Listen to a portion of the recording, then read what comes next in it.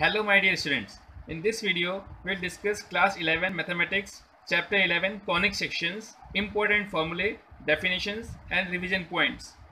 The first point is a circle is a set of all points in a plane that are equidistant from a fixed point in a in the plane.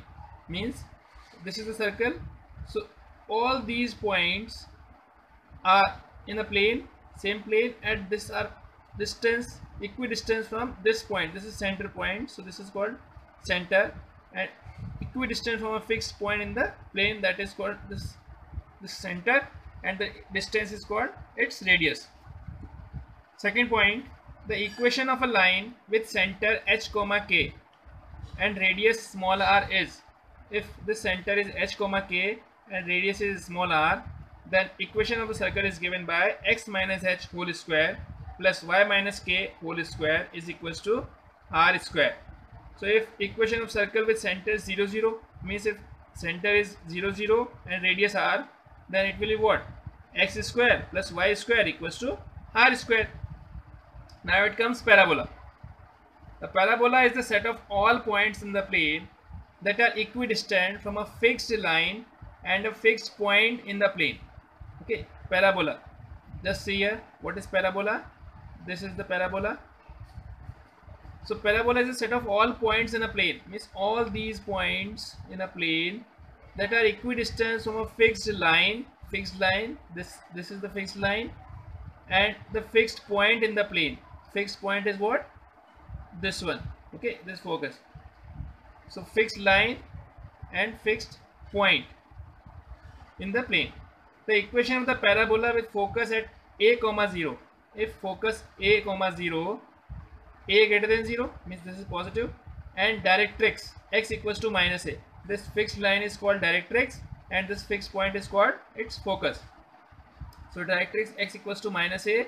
This is given by y square equals to 4ax so this is standard form of parabola. Its equation is what? Y square equals to 4ax where a is its focus point a comma 0 where a is greater than 0 means right hand side now latus rectum of a parabola. Latus rectum of a parabola is a line segment perpendicular to the axis of the parabola. What is axis here? In this case, this is called axis of the parabola. This is axis of the parabola and perpendicular to this means line segment perpendicular to the axis of the parabola and passing through the focus means this one. This is focus and passing through the focus. This line is called its latus rectum to the focus and whose end points lie on the parabola. These end points here on parabola. So this is parabola. You have to remember that. Length of the latus rectum of the parabola y square equal to 4ax is what? 4a means 4 times of this focus x coordinate.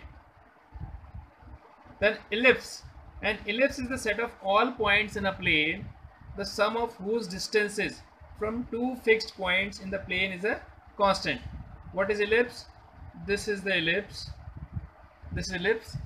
And its set of all points in a plane means all these points in a plane some of whose distances from two fixed points.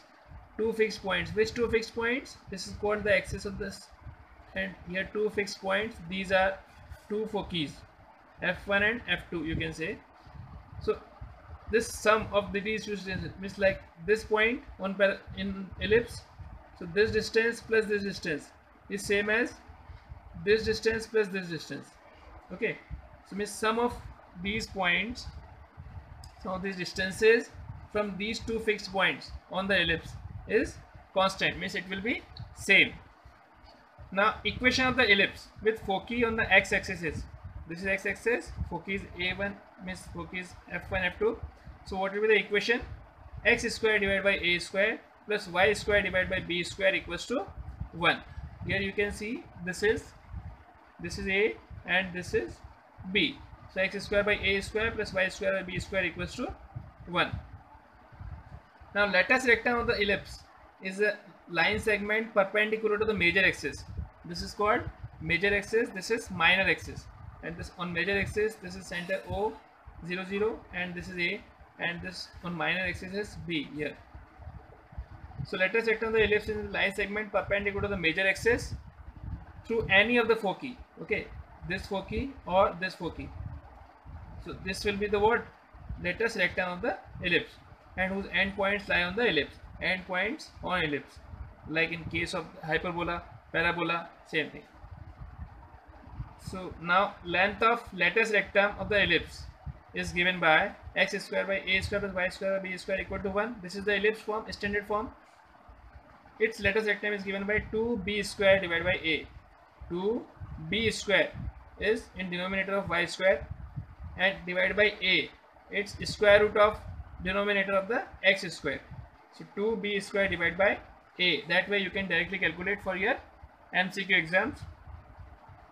Now eccentricity.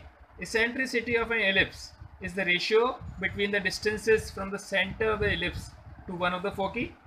Means from center of the ellipse if we take any one of the foci and ratio of the distances from the center of the ellipse to one of the foci and to the one of the vertices of the ellipse.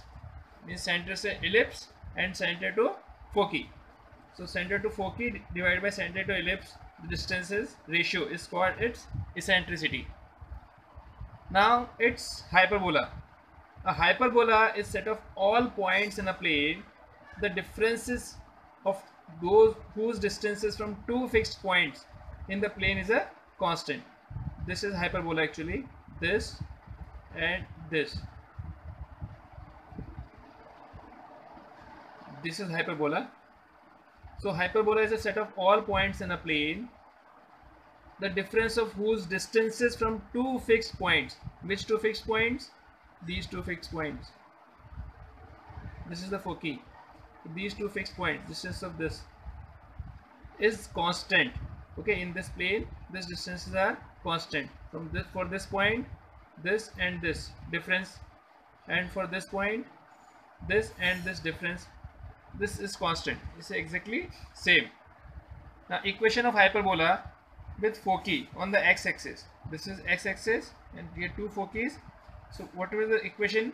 X square divided by a square minus y square divided by b square equals to 1 in case of parabola equation was y square equal to 4x for ellipse x square by a square plus y square by b square equal to 1 and for hyperbola it's x square by a square minus y square by b square equals to 1 i think it is clear to you. Now next point is latus rectum of a hyperbola is a line segment perpendicular to the transverse axis. The x-axis in case of hyperbola is known as transverse axis and y-axis is known as conjugate axis in case of hyperbola. So latus rectum of hyperbola is a line segment perpendicular to the transverse axis through any of the foci like in case of parabola, ellipse, okay, and whose endpoints lie on the hyperbola. So for latus rectum, its endpoint always lies on the curve, either it is parabola, ellipse or hyperbola. Now length of latus rectum of the hyperbola, length of latus rectum of hyperbola of x square by a square minus y square by b square equal to 1 is what? 2b square divided by a. For this equation, you have to remember, for this equation it is 2b square divided by a. Okay, for others it may be different. Now eccentricity. Eccentricity of hyperbola is the ratio of the distances from the center of the hyperbola to one of the foci and to one of the vertices of the hyperbola. Means first we find the distance of the center of the hyperbola to foci and then find the distance from center of the hyperbola to one of the vertices and then that ratio is called its eccentricity. So eccentricity of hyperbola is ratio of distances from the center of the hyperbola to one of the foci and to one of the vertices of the hyperbola. I think it's clear to you. So please just like and share it to your friends and subscribe this channel to get such types of videos. Thanks for watching.